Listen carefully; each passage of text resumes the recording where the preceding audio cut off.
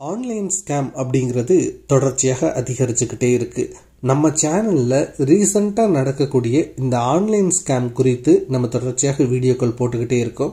இந்த வீடியோக்கள் போடுறதோட முக்கியமான நோக்கம் என்னென்னா உங்களுக்கு இந்த மாதிரி ஒரு சம்பவம் நடக்கும்போது நீங்கள் இந்த வீடியோவை ஏற்கனவே பார்த்துருந்தீங்க அப்படின்னா உங்களுக்கு ஒரு அலர்ட் வரும். நீங்கள் கொஞ்சம் உஷாராக வந்து அழைப்பீங்க. ஸோ இதன் மூலமாக நீங்கள் அந்த ஸ்கேமில் இருந்து தப்பிச்சுக்க முடியும். இதனால தான் நம்ம ரீசன்ட் ஸ்கேம் குறித்து தொடர்ச்சியாக வீடியோக்களை வந்து போட்டுக்கிட்டு இருக்கோம் இந்த வீடியோவில் என்ன ஸ்கேம் பார்க்க போகிறோம் அப்படின்னா கேரளாவில் நாற்பதாயிரம் ரூபாயை ராதாகிருஷ்ணன் என்பவர் இழந்தார். அந்த ஸ்கேம் குறித்து தான் அவர் எப்படி இந்த நாற்பதாயிரம் ரூபாயை வந்து ஏமாந்தார்? அதுக்கப்புறம் அவர் என்ன செஞ்சார்?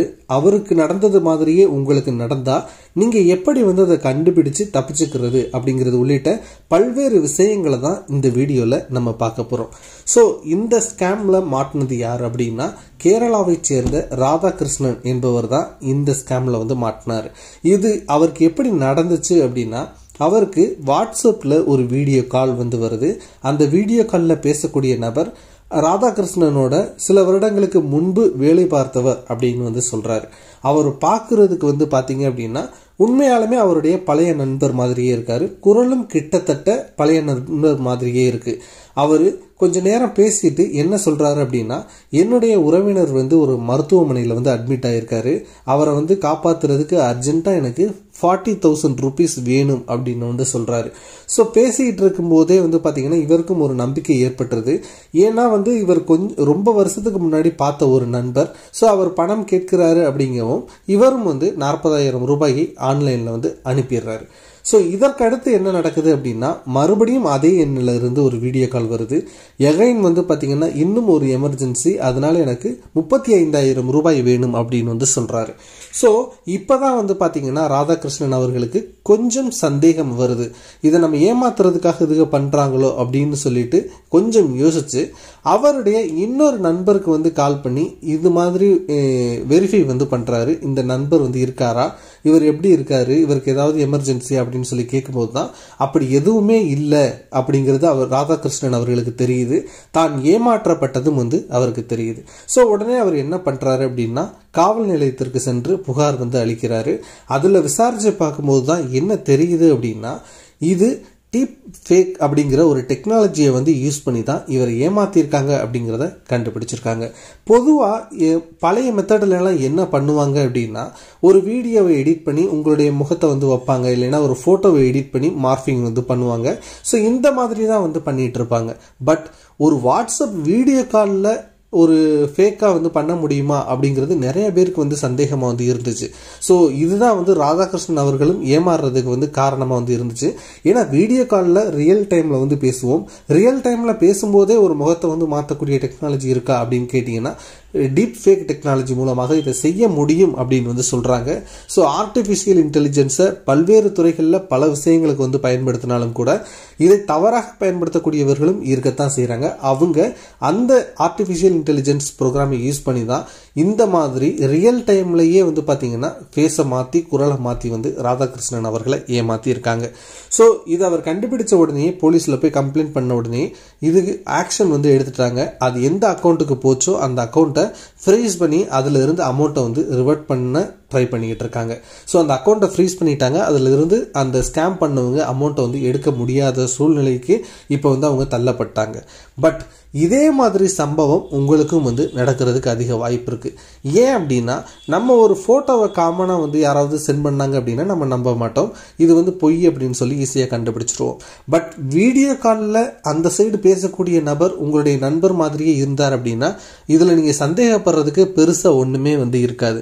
ஸோ நீங்கள் எப்போ இந்த சந்தேகத்தை வந்து நீங்கள் உறுதிப்படுத்திக்கணும் அப்படின்னா உங்களுக்கு நடக்கும்போது ஃபஸ்ட்டு நீங்கள் என்ன செய்யணும் அப்படின்னா நீங்கள் அன்னவுன் நம்பரில் இருந்து வந்தாவே ஃபஸ்ட்டு நீங்கள் சந்தேகப்பட்டு தான் ஆகணும். ஏன்னா திடீர்னு ஒரு உங்கள் நண்பருடைய நம்பராக இருந்துச்சு அப்படின்னா நீங்கள் கண்டிப்பாக அதை சேவ் பண்ணி வச்சுருப்பீங்க. சப்போஸ் அன்னவுன் நம்பர்லேருந்து வருதுனாவே நீங்கள் ஒன்றுக்கு இரண்டு முறை இவர் நம்மளது நம்ப நண்பர் தானா அப்படிங்கிறத நீங்கள் உறுதிப்படுத்திக்கங்க.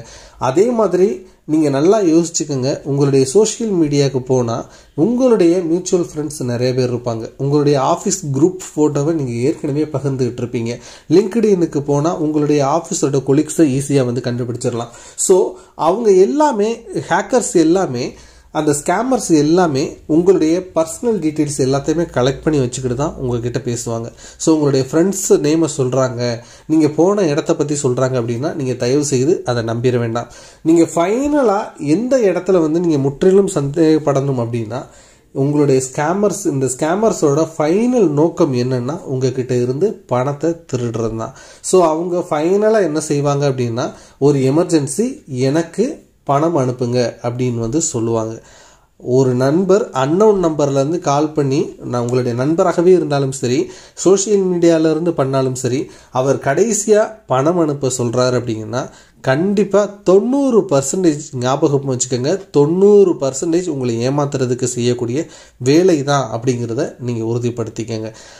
அவரை உங்களுடைய பிற நண்பர்கள்ட்ட வந்து கால் பண்ணி நீங்கள் வெரிஃபை பண்ணிக்கோங்க. உண்மையாலுமே அவருக்கு எமர்ஜென்சி தானா அப்படிங்கிறத வந்து தெரிஞ்சுக்கோங்க. அப்படியெல்லாம் வெரிஃபை பண்ணிவிட்டு நீங்கள் டிரான்சாக்ஷன் வந்து செய்யுங்க. எல்லா சூழ்நிலைகளிலையும் உங்களுடைய பணத்தை வந்து போலீஸாரால் வந்து மீட்டு தர முடியாது. ஸோ நம்ம தான் வந்து கொஞ்சம் கேர்ஃபுல்லாக வந்து இருக்கணும். ஸோ டீப் ஃபேக் டெக்னாலஜி வந்து ரொம்ப அட்வான்ஸாக வந்து போய்கிட்டுருக்கு ரியல் டைம்லையும் வந்து பார்த்திங்கன்னா இந்த ஃபேஸ் மார்ஃபிங்லாம் வந்து பண்ண முடியுது. ஸோ இதெல்லாம் பண்ண முடியாது. இப்படியெல்லாமா பண்ணுவாங்க அப்படின்லாம் யோசிக்காதீங்க. எப்படி வேணாலும் பண்ணுவாங்க. ஸோ நீங்கள் தான் வந்து கொஞ்சம் உஷாராக இருக்கணும். ஒன்ஸ் நீங்கள் வந்து இதில் ஏமாந்துட்டீங்க அப்படின்னா தயவு செய்து இதில் மூடி மறைக்கிறதுக்கு ஒன்றும் இல்லை நீங்கள் இதை காவல் நிலையத்துக்கு கொண்டு போய் உடனடியாக புகார் தெரிவிங்க. இப்போது ஸ்க்ரீனில் வந்து நான் சைபர் ஸ்க்ரை சைபர் கிரைமோட நம்பர் வந்து பார்த்தீங்கன்னா உங்களுக்கு டிஸ்பிளே பண்ணுறேன் ஸோ உங்களுக்கு ஏதாவது ஒரு புகார் இந்த மாதிரி வந்து நடந்துருச்சு அப்படின்னா நீங்கள் தயவு செய்து அவங்கக்கிட்ட வந்து ரிப்போர்ட் பண்ணுங்கள் அவங்க அவங்களால முடிந்த ஆக்ஷன்ஸை வந்து எடுப்பாங்க. ஸோ மேக்ஸிமம் வந்து உங்களுடைய பணத்தை வந்து அவங்க கெட் பேக் வந்து பண்ணி கொடுத்துருவாங்க. ஸோ நீங்கள் அதுக்கு புகார் வந்து பண்ணியிருக்கணும். ஸோ இந்த வீடியோவில் கண்டிப்பாக ஒரு யூஸ்ஃபுல்லான இன்ஃபர்மேஷன் பற்றி நீங்கள் தெரிஞ்சுக்கிட்டு இருப்பீங்க அப்படின்னு நான் நம்புகிறேன் ஸோ இந்த வீடியோவை நீங்கள் ஷேர் பண்ணுங்கள் அதே மாதிரி வந்து பார்த்தீங்கன்னா மேலும் ஏதாவது ஸ்கேம் பற்றி நீங்கள் தெரிஞ்சுக்கணும்னு ஆர்வமாக இருந்தீங்கன்னா அதை கமெண்ட் செக்ஷனில் சொல்லுங்கள் தேங்க்ஸ் ஃபார் வாட்சிங் இது ஸ்ரீ டெக் டாக்ஸ் நான் உங்கள் ஸ்ரீதரன். வணக்கம்.